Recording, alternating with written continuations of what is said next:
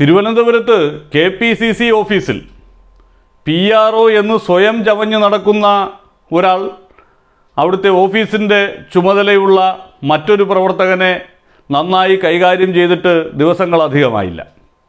രണ്ടുപേരും K P C C പ്രസിഡന്റിന്റെ അനുയായികളായിട്ടുള്ള ആളുകൾ തന്നെയായിരുന്നു.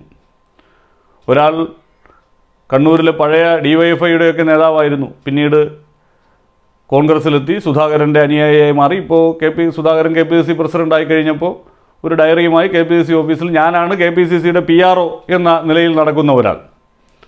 അദ്ദേഹം സാമ്പത്തിക പ്രശ്നങ്ങളുമായി ബന്ധപ്പെട്ട് മറ്റൊരു സഹപ്രവർത്തകനുമായി കെ പി സി സി ഓഫീസിൽ പരസ്യമായി തല്ലുകൂടുന്ന സ്ഥിതിവിശേഷം.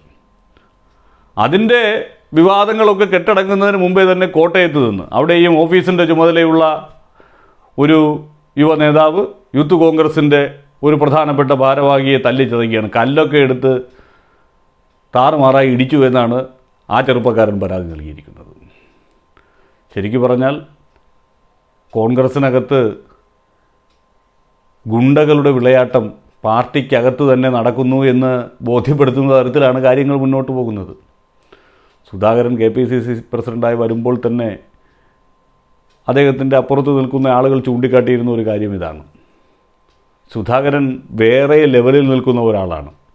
അങ്ങനെ സുധാകരൻ വരുമ്പോൾ പാർട്ടിയിലെ അത്തരം സ്വഭാവങ്ങൾ കൊണ്ട് നടക്കുന്ന തീവ്ര സ്വഭാവങ്ങൾ കൊണ്ട് നടക്കുന്ന ആളുകളെ സംബന്ധിച്ചിടത്തോളം അതൊരു വലിയ മുതൽക്കൂട്ടായി മാറും. അവരൊക്കെ കളത്തിലിറങ്ങി കൈകാര്യം ചെയ്യാൻ തുടങ്ങും എന്നൊക്കെ.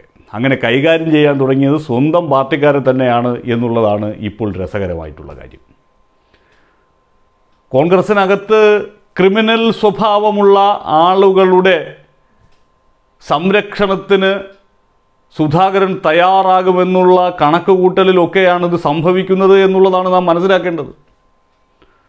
പല ആളുകളും സുധാകരൻ വന്നതിന് ശേഷം നടന്നിട്ടുള്ള വിഷയങ്ങളിൽ അദ്ദേഹത്തിന്റെ പ്രതികരണങ്ങളും ഒക്കെയും ആ നിലയിൽ തന്നെയായിരുന്നു. അത്തരത്തിലുള്ള ആളുകളെ സംരക്ഷിക്കുന്ന നിലപാട്.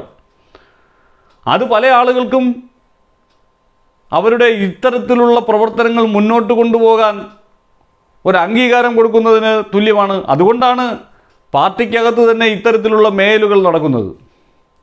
കെ പി സി സി ഓഫീസിൽ തന്നെ പി ആർ ഒ ചമഞ്ഞിരിക്കുന്ന ഒരാൾ മറ്റൊരാളിനെ മർദ്ദിക്കുന്നു.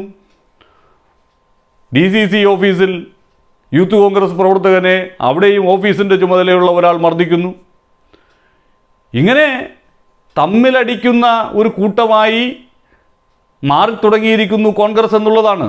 അതിനെ ഒന്നും നിലയ്ക്ക് നിർത്താൻ സാധിക്കുന്നില്ല. ഇവിടെ അന്താരാഷ്ട്ര കാര്യങ്ങളൊക്കെ പറഞ്ഞിരിക്കുകയാണ്.